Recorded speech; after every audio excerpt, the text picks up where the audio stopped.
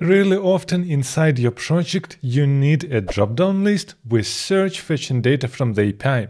And typically people don't try to implement it yourself, they just Google to find some library to do it for them.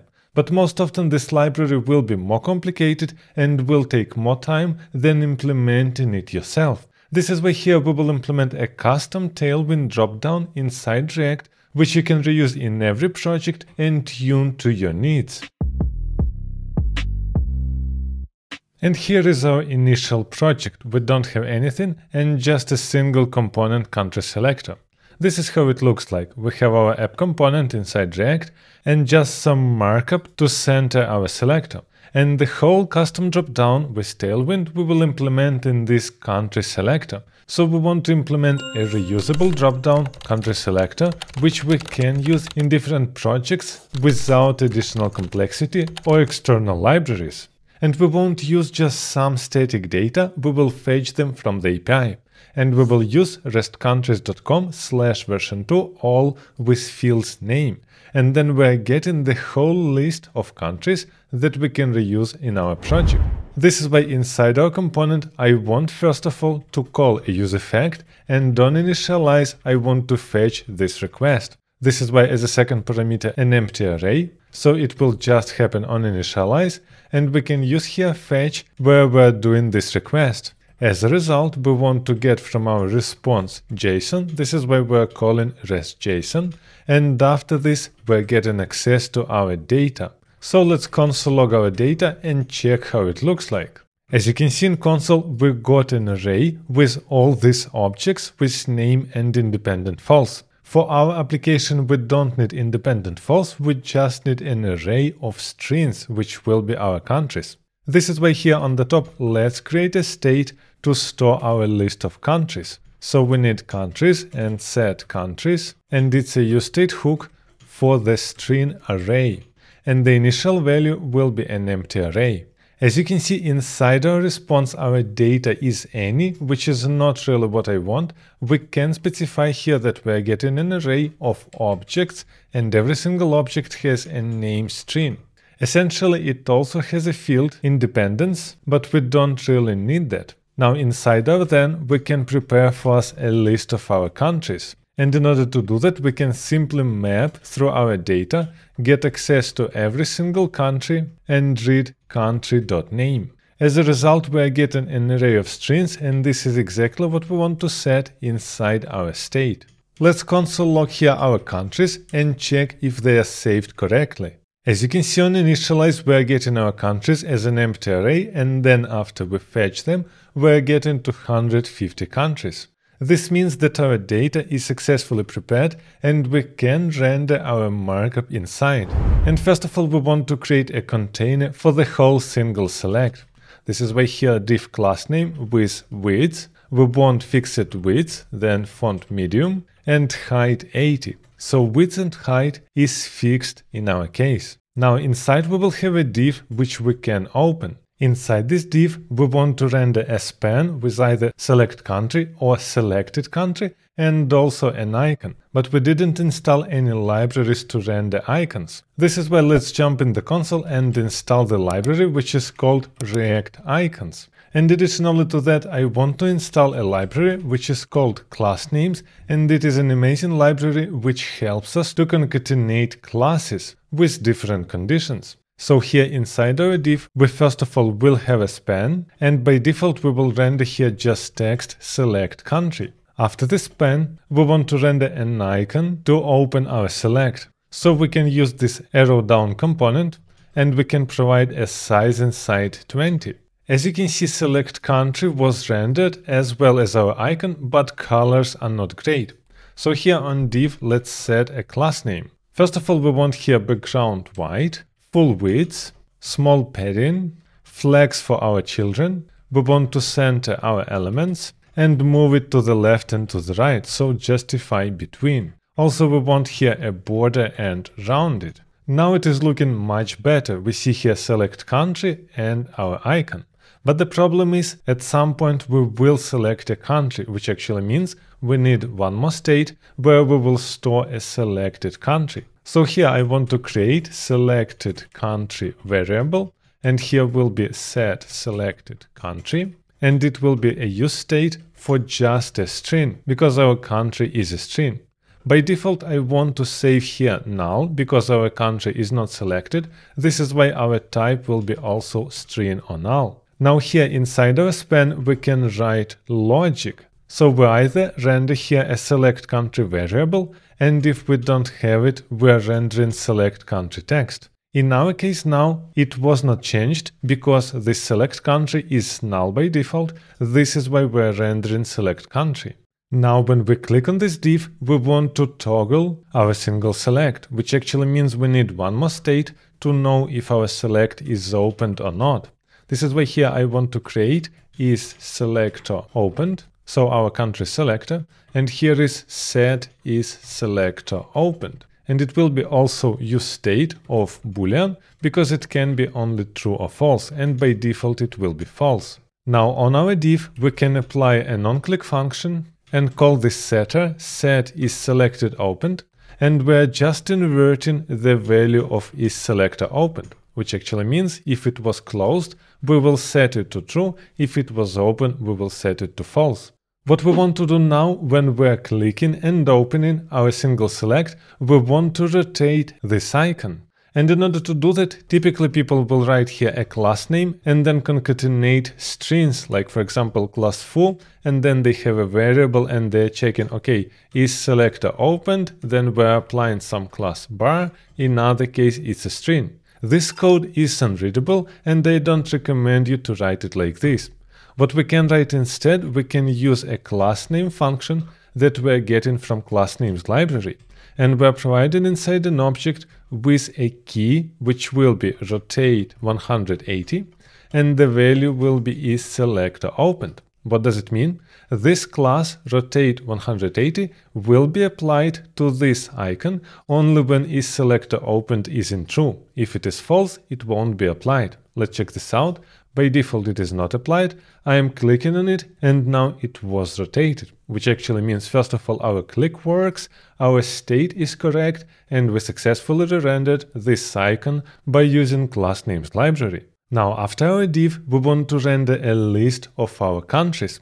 This is why here let's create a UL with some classes and again, I want to apply inside a class name function because it will have condition. What is that? It is either closed, so the height is zero, or it is opened, and then we're rendering our list. This is why inside, let's first of all apply all our classes, which will be always there. This is why here background white, margin top 2, overflow epsilon auto, so we have a scroller, and max height 0, which actually means by default it won't be visible. And as you can see, I am applying here true, which means all these classes will be always applied to this UL. But after this we can apply an additional class, max height 60, and here we will have our logic, it is is selector opened, which actually means this class will be added when is selector opened in true, and it will override this max height 0 and we will see this element. Inside our UL, we want to render two things. First of all, our search bar, and secondly, the list of the countries. Let's start with the search. It will be an additional div with class name, flex, item center, small margin. It will be sticky with top 0 and background white. Now inside this div, we can render a search icon with the size of 18. After this we need to create just a normal input, so it will be an input with type text and our value should be some value input from the state. We don't have it, this is why let's create it. So it will be an input value and a setter, so set input value. And this is a use state for the string and by default it will be an empty string. This is great that we wrote lots of logic for our component, but we didn't really do any testing. And in the real application, you want to test your project extensively to avoid bugs on production. And actually, I have a full course where I am covering all needed knowledge regarding unit testing and end-to-end testing inside React. So if you want to bulletproof your React application, check the link in the description. Now here we can bind for our value input value state, And we want also to add here a non-change event where we're getting our event and we're calling set input value where we're providing event target value dot to lowercase. Why I'm doing to lowercase here? Because people can type their search with any possible case. We must convert all our countries and the search to lowercase in order to know what countries we want to show with the filter. Additionally, here I want a placeholder, for example, enter country name and some classes. First of all, let's change a placeholder. It will be text gray 700, small margin, and outline none. Now I can click on our select, we see our div with this input and we can type something here. After our div, we want to render a list of countries. This is why here let's just call our countries map and we get access to every single country and we want to return here li. First of all, we should not forget to add here a unique key, which will be a country, because every single country is unique. And also we need some classes to style them.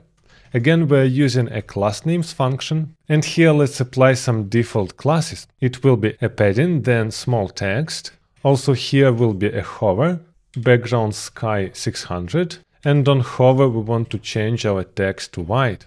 And the value here will be true because we want to always apply these classes. But additionally here we want to write some logic for the selected country. Just to remind you here on the top we already created selected country, we simply never changed it. And this is totally fine, but we want to apply different styling to our li when this specific element is selected. This is why here let's apply background sky 600 and text white when this country equals our selected country from the state. Now we just need to render a name of the country inside our li. As you can see in browser, when we open our single select, we rendered the whole list of all possible countries. And we even highlight our country that we're hovering on. But here we have a problem. What is that? We can type something like Albania and nothing happens. Why is that? Because we still show the whole list of these countries. We want to hide some of them which don't fit with our search. We can really easy do that by just using a hidden class. So here I want to apply a hidden class with the logic that country dot to lowercase, don't forget when we're comparing we need to convert to lowercase, starts with, and here we're providing our input value, this is our search. And now we need a negation, which actually means we're applying hidden class to this specifically element when this country starts with the input value that we typed inside. And it works like a charm, we can type here Albania and it is filtering our elements just by hiding all of them. And when we're removing the search, we're showing all these elements because our initial value is an empty string and empty string fits this condition. Now it is time to select our country. This is why on our li we need to apply a non-click event. What do we want to do inside this on-click?